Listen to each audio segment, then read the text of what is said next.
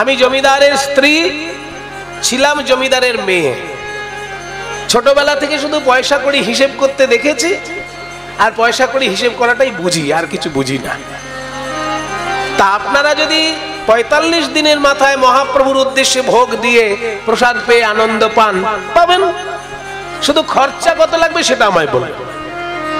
তাতেই আমি রাজি, যা খরচা লাগবে, আপনার তাই বলুন। আর বড় কীর্তনিয়া সে যত টাকা নেয় নেবে আমি দেব। আপনারা ব্যবস্থা করুন। কারণ আমি তো কীর্তন শুনেইনি কখনো। কে বড়, কে ছোট, কে ভালো, কে মন্দ, ওসব বিচার করার আমার কোনো ইচ্ছাও নেই, আর আজ যদি হয়ও নি সেই সৌভাগ্য। কাজে আপনারাই ব্যবস্থা করুন, যাকে আনবেন আনুন, গান শুনুন, দক্ষিণা আমি দেব। বৈষ্ণবগণ বললেন, ঠিক আছে মা, আমরা নিশ্চিন্ত হলাম, বড় কীর্তনিয়া আনব। বৈষ্ণবগণ বিরাট বড় উৎসব করলেন পঁয়তাল্লিশ দিনের মাথায়, জমিদার গিন্নির টাকায়। আর সেই যুগের বড় গায়ককে গান এনে গান করানো হচ্ছে। গায়ক এসে বলছেন, শুনুন জমিদার গিন্নিমা, আপনি আমার দক্ষিণা দিচ্ছেন মানে আপনি কিন্তু আমাকে কিনে নেন আমার একটা শর্ত আছে, আমি যখন গান গাইব, আপনাকেও কিন্তু শুনতে হবে। আপনি পয়সা দিয়ে দিলেন বলে নাক ডেকে ঘরের মধ্যে ঘুমোলেন ও গান আমার দরকার নেই। আমি যখন গান গাইব, বৈষ্ণবগণ যেমন শুনবে, বৈষ্ণবদের পিছনে বসে আপনি শুনবেন, সামনে বসে না। বৈষ্ণবদেরকে সামনে রাখবেন আপনি পিছনে বসে শুনবেন এবং আপনার মাধ্যমে এই কীর্তন আপনার স্বামীর আত্মার কাছে পৌঁছবে, আপনার স্বামীর আত্মা মুক্তি লাভ করবে। কাজী আপনি আপনার স্বামীর শ্রাদ্ধে যেহেতু কীর্তন হচ্ছে, আপনি শুনবেন। যা গ্রামের লোক শুনলো শুনলো, আপনিও শুনবেন। গিন্নিমা বলছেন, ঠিক আছে বাবা কীর্তনিয়া, আমার স্বামীর আত্মার শান্তির জন্যই আমার সমস্ত কিছু করা। এই যে নরনারায়ণের সেবা, এই যে বৈষ্ণব সেবা এসব তার আত্মার শান্তির জন্য। তা আমি কীর্তন শুনলে যদি আমার স্বামীর আত্মার শান্তি হয়, ও কীর্তন না বুঝলেও আমি শুনব। আমি শুনব, কথা দিলাম, আপনি শুরু করুন। চন্দ্রশশী দেবীও বসলেন আসন করে। সব গ্রামের লোক বসেছে, বৈষ্ণবগণও বসেছে, কীর্তনিয়া শুরু করলেন গান। মহাপ্রভুর বর্ণনা গাইছেন সংস্কৃত ভাষায়। মধুকর রঞ্জিত মালতি মণ্ডিত জিত ঘন কুঞ্চিত কেশম। এই গানটাই দিয়ে আজকে শুরু করেছি কিন্তু। একটু আগে যে গাইলাম, সুরে তালে যেটা গাইলাম না, ওই গানটাই গাইলাম। মধুকর রঞ্জিত মালতি মণ্ডিত জিত ঘন কুঞ্চিত কেশম এটার ব্যাখ্যাটা শুনতে গেলে পেছন দিক দিয়ে শুরু করতে হবে। মধুকর রঞ্জিত, মালতি মণ্ডিত,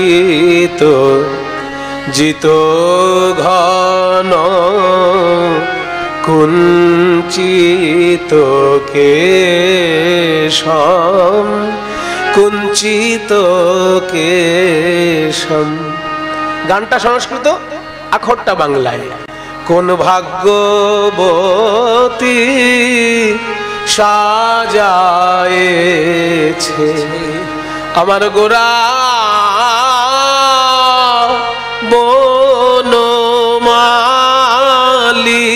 বনমালিকে কোন ভাগ্যবতী? সাজায়েছে আমার গোরা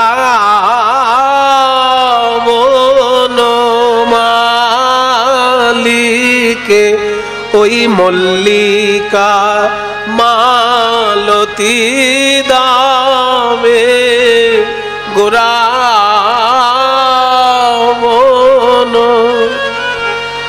বনমালিকে কোন ভাগ্যবতী সাজায়েছে? মধুকর রঞ্জিত মালতি মণ্ডিত জিত ঘন কুঞ্চিত কেশম। এই গোটা লাইনটা কিন্তু একটা শব্দ। মানে অনেকগুলো শব্দ মিলে একটা শব্দ। শব্দ যখন বাক্যে ব্যবহৃত হয়, তাকে বলে পদ হ্যাঁ? যেমন আমি ভাত খাই তিনটে আলাদা আলাদা শব্দ। কিন্তু আমিটা একটা শব্দ, যখনই সেটা বাক্যে ব্যবহার হয়ে গেল, অমনি তার নাম হয়ে গেল পদ। কি পদ? আমিটা হচ্ছে নাম পদ। আমি হচ্ছে বিশেষ কি খাই? খাইটা কি পদ? ক্রিয়াপদ। এবার প্রশ্ন আসবে, কি খাই? ভাত। ভাতটা কি পদ? কর্ম। তাহলে বিশেষ্য তারপরে ক্রিয়া আর ক্রিয়া, ক্রিয়ার আগে একটা কর্ম আছে। এগুলো হচ্ছে ব্যাকরণের ব্যাপার। তা একটা শব্দে যেমন একটা পদ তৈরি হয়, তেমনি অনেকগুলো শব্দেও মিলেও একটা পদ তৈরি হয়। একটা শব্দে যদি পদ হয়, তাকে বলে সাধারণ পদ। আর অনেকগুলো শব্দ মিলে যদি একটা পদ তৈরি হয়, তাকে বলে সমাসবদ্ধ পদ। এই যে মধুকর রঞ্জিত মালতি মণ্ডিত জিত ঘন কুঞ্চিত কেশম গোটাটাই কিন্তু একটা বিশেষণ। কার বিশেষণ? গৌরাঙ্গ মহাপ্রভুর বিশেষণ। বিশেষণ কাকে বলে? বিশেষণ কাকে বলে? বলে, বাবা, কীর্তন গাইতে এসে সেই ছোটবেলার ব্যাকরণে ফিরে গিয়েছো, সব তো ভুলে গুলে আছে। কোথাকার বিশেষ বিশেষণ নিয়ে পড়েছে রে বাবা। এই পৃথিবীতে কিচ্ছু হারায় না। ছোটবেলায় যা শিখেছেন সারা জীবন সেটা কাজে লাগবে। হয়তো আপনি বলতে পাচ্ছেন না, এই যা। যেমন লাল কাপড়, কাপড়টা হচ্ছে বিশেষ্য, লালটা হচ্ছে বিশেষণ। লাল কাপড়। এই কাপড়টা বিশেষ্য আর লালটা হচ্ছে বিশেষণ। সেই রকম গৌরাঙ্গ, কেমন গৌরাঙ্গ? না মধুকর রঞ্জিত মালতি মণ্ডিত জিত ঘন কুঞ্চিত কেশব এইরকম গৌরাঙ্গ। গোটাটা মিলে একটা বিশেষণ। এতগুলো শব্দ মিলে একটা শব্দ।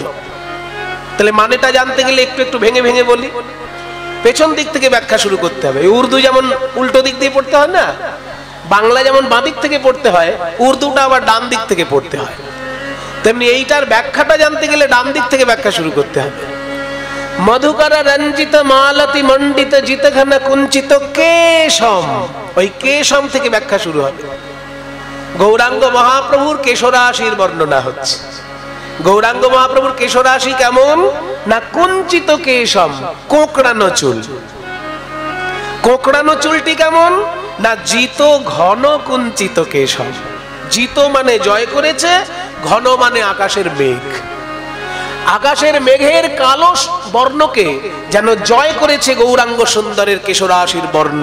জিত ঘন, কুঞ্চিত কেশব সেই কেশে কি আছে? মালতী মণ্ডিত। মালতী ফুলের মালা দিয়ে একটা ঝুটি বাঁধা আছে। আর সেই মালতী ফুলের ঝুটিতে কি আছে? মধুকরে রঞ্জিত। একদল ভ্রমর এসে গুনগুন গুনগুন গুনগুন করে গান গাইছে ওই মালতী ফুলের গন্ধে, ঝুটিটার চারিপাশে। এবার দেখুন আপনাদের কাছে পরিষ্কার হয়ে যাবে।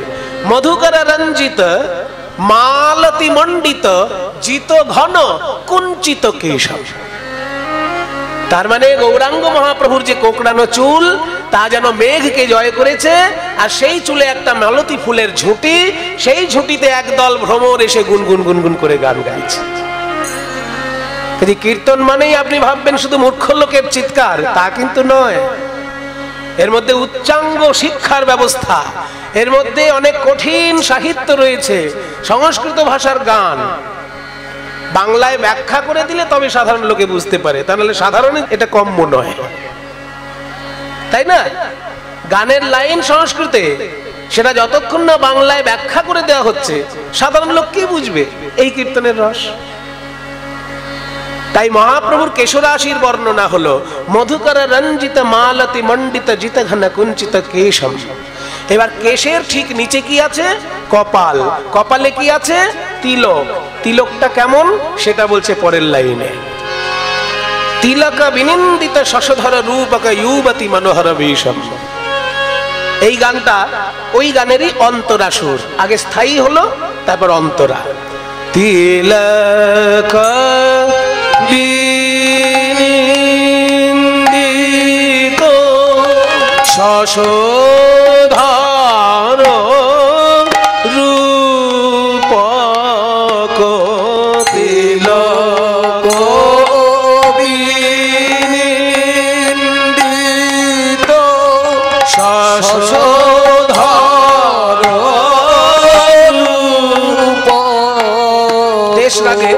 গানটি চলছে দেশ লাগে রে মা পা নে জা নে জা পা পা পা নে নে জা নে জা পানি নে পাসা পানি পানি সা পানি সা রে রে রে রে রে রে রে রে রে রে রে রে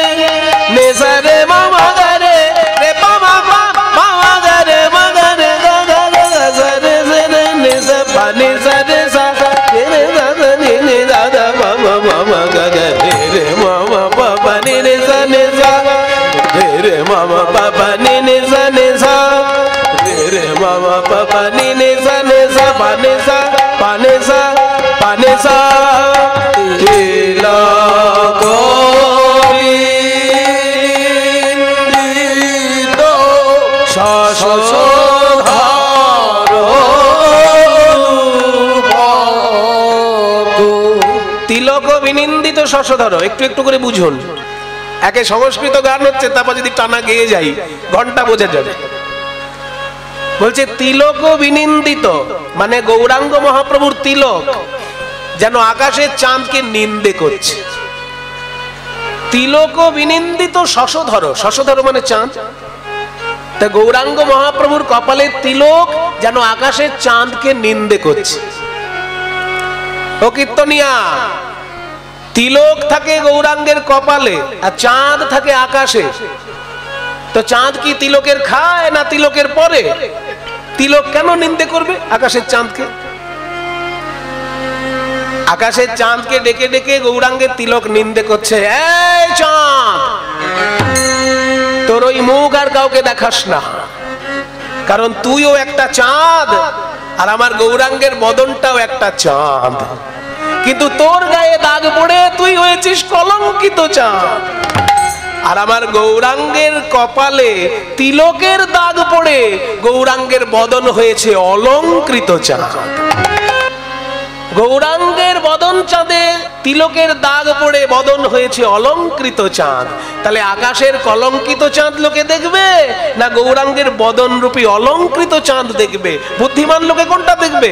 কলঙ্কিত না অলঙ্কৃত? তাহলে? সেই জন্য ওই মুখ আর তুই দেখাস না। আমার গৌরাঙ্গ যতক্ষণ আছে, মুখ তোর ঢেকে রাখ। তিলক বিনিন্দিত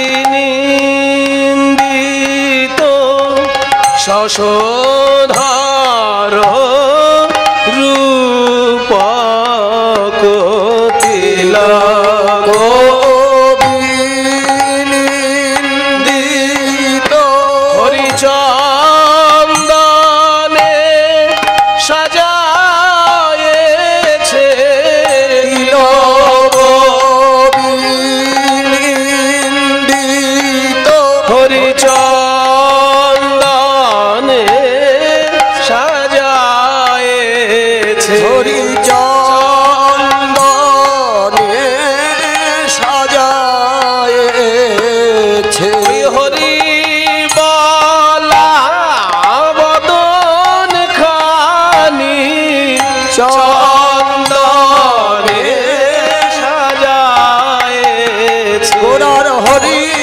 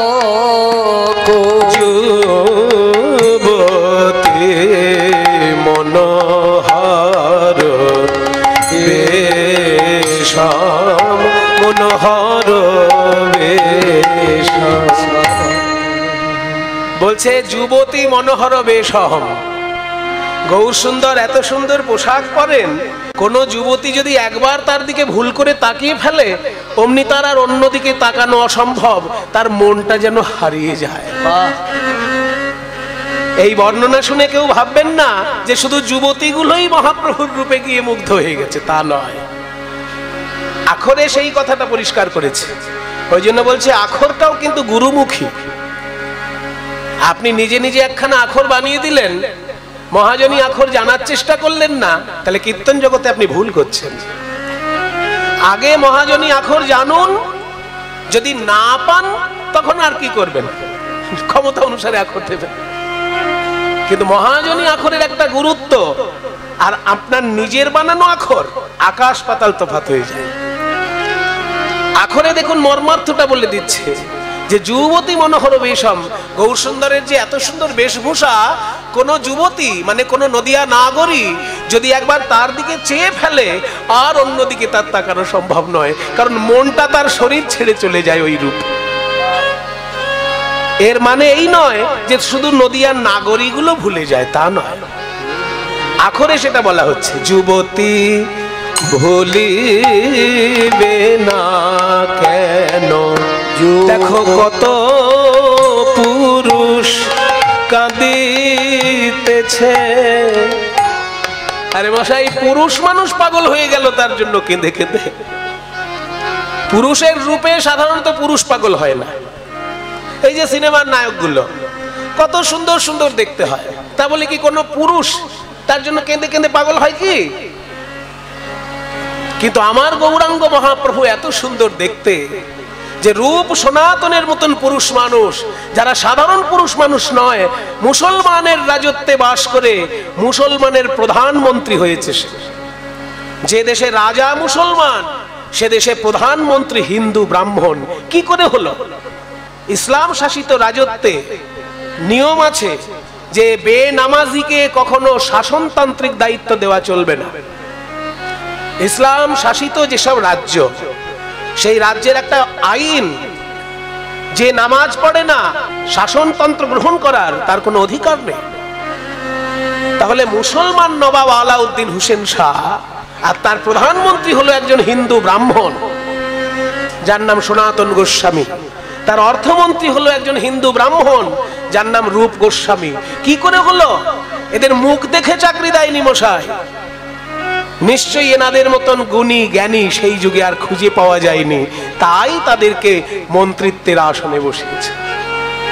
তাহলে প্রধানমন্ত্রীর মতন মানুষ, অর্থমন্ত্রীর মতন মানুষ গৌরাঙ্গকে দর্শন করে আত্মসমর্পণ করেছে, আর নবদ্বীপ নাগরীর আর কি কথা? তাই এখনে বলা হলো, যুবতী ভুলিবে না কেন?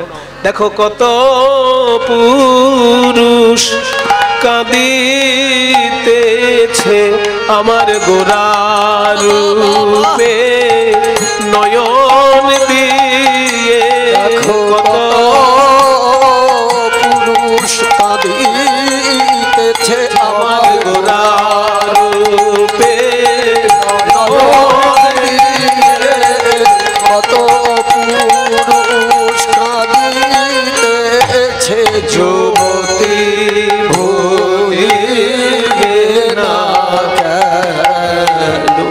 যুবতী মনোহর বেশম। এই এত সুন্দর যে দুটি পংক্তি শুনলেন গানের মানে গানের যে দুটো লাইন শুনলেন, এই দুটোই কিন্তু বিশেষণ এখনও বিশেষ্য আসেনি। এইবার বিশেষ্য বলা হবে, ক্রিয়াপদও বলা হবে। বাক্যের মধ্যে যতক্ষণ ক্রিয়াপদ ব্যবহার না হয়, ততক্ষণ বাক্য সম্পূর্ণ হয় না। এগুলো ছোটবেলায় আপনারা পড়েছেন স্কুলে, এখন হয়তো মনে নেই। যে বাক্যে ক্রিয়াপদ নাই, ক্রিয়াপদ যতক্ষণ না প্রয়োগ হচ্ছে, বাক্যটা সম্পূর্ণ হলো না, অসম্পূর্ণ বাক্য। এতক্ষণ দুটো বিশেষণ বলা হলো, এখনও বিশেষ্য বলা হয়নি, ক্রিয়াপদ বলা হয়নি। এইবার বলা হবে। সখী কলয়, এই ক্রিয়াপদ। কলয় মানে দেখো, দেখে নাও। সখী কলয় মানে দেখে নাও, কাকে? গৌরম। এই এতক্ষণে এলো কর্ম। সখীটা হলো কর্তা, ক্রিয়াপদ হলো দেখে নাও, কাকে দেখবে? গৌরম। আমার গৌর সুন্দরকে দেখে নাও। গৌর কেমন? না মধুকর রঞ্জিত, মালতি, মণ্ডিত চিত ঘন কুঞ্চিত কেশম তিলক বিনিন্দিত শশধর, রূপক, যুবতী, মনোহর বেশম সেই গৌর ভালো করে দেখে নাও। কলয় গৌর সখী কলয় গৌর সখী কলয়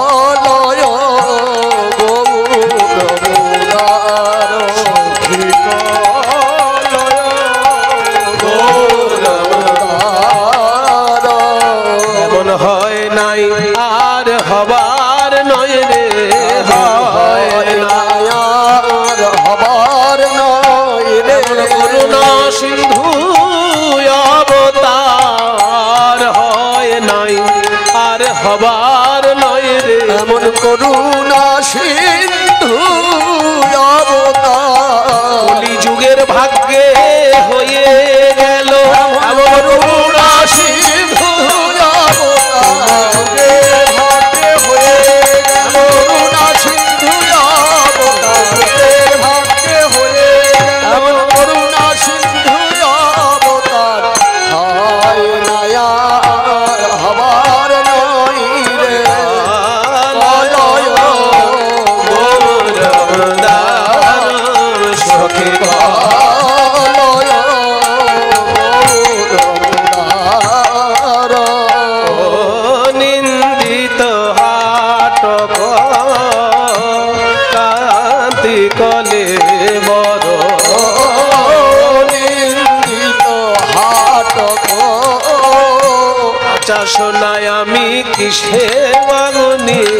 কাঁচা শোনায় আমি কিসে বাগনি?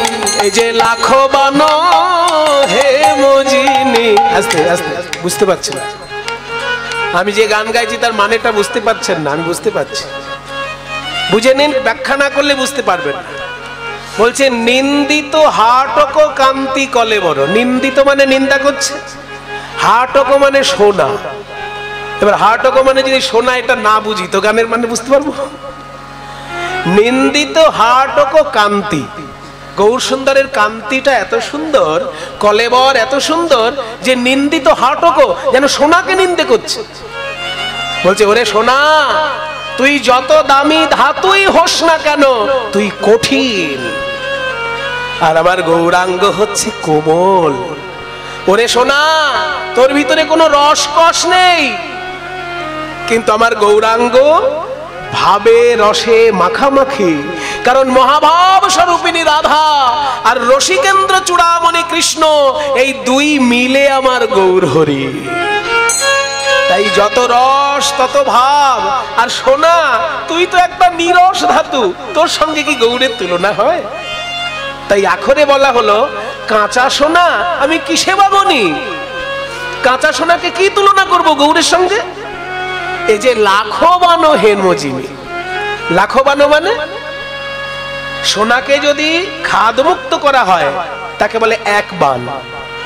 যদি দুবার খাদ মুক্ত করা হয়, দুই বান। একশো বার খাদ মুক্ত শতবান এক লক্ষ বার যদি খাদ মুক্ত করা হয় সোনা, তবে তার নাম লাখবান কাঞ্চন। যে সোনাকে এক লক্ষ বার খাদ মুক্ত করা হয়েছে, তার সঙ্গেও গৌরাঙ্গের তুলনা হয় না। সেটাই আখরে বলা হয় এই যে লাখো বানো, হে মজিনি, কাঁচা সোনা, আমি কিসে বাবনি যে লাখো বানো, হে মজি যে লাবণী আমার